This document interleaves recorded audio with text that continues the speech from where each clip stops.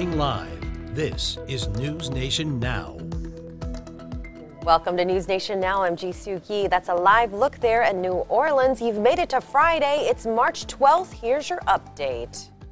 It's officially been one year since life as we knew it changed. Thursday marked the anniversary of when the World Health Organization declared the coronavirus a global pandemic. President Joe Biden delivered his first primetime address last night, looking back at an unprecedented year in the U.S. and delivering some hopeful news.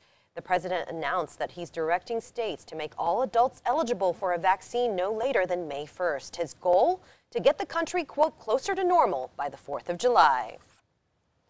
And in another major milestone, Biden signed the $1.9 trillion coronavirus relief package into law yesterday. The American Rescue Plan extends emergency unemployment benefits and sends $1,400 in direct payments to eligible Americans. The White House says those deposits could hit bank accounts as early as this weekend.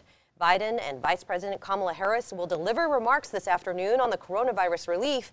We'll be streaming that live on NewsNationNow.com and on our app. Day four of jury selection in the trial of Derek Chauvin begins today. It comes after a judge reinstated a third degree murder charge against the former Minneapolis police officer accused in the death of George Floyd. The decision gives prosecutors another path for conviction, and it resolves an issue that might have delayed the trial for months. Chauvin has pleaded not guilty to all charges against him.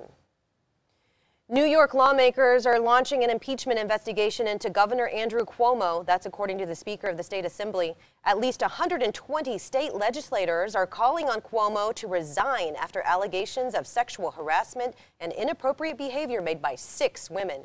Cuomo has denied any wrongdoing, saying he won't step aside.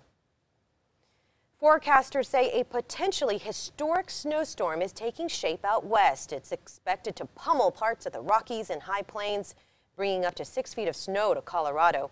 We'll be tracking the cold front that's expected to arrive today. Follow along on NewsNationNow.com. And trending this morning, I can't quite wrap my head around this, but uh, a piece of digital art has sold for nearly $70 million. The artist named Beeple posted works online daily for 5,000 days and turned it into a collage. Christie's then auctioned it off for $69.4 million. The sale marks the first time a major auction house has sold a digital only piece, and it puts Beeple among the top most valuable living artists. Wow, I wonder what he's going to do with that big payday. I'm Ji. Thanks for watching. Stay with us throughout the day for breaking news coverage, and of course, News Nation's broadcasts start at 5 Central with Early Edition with Nicole Burley. Have a great Friday, everybody.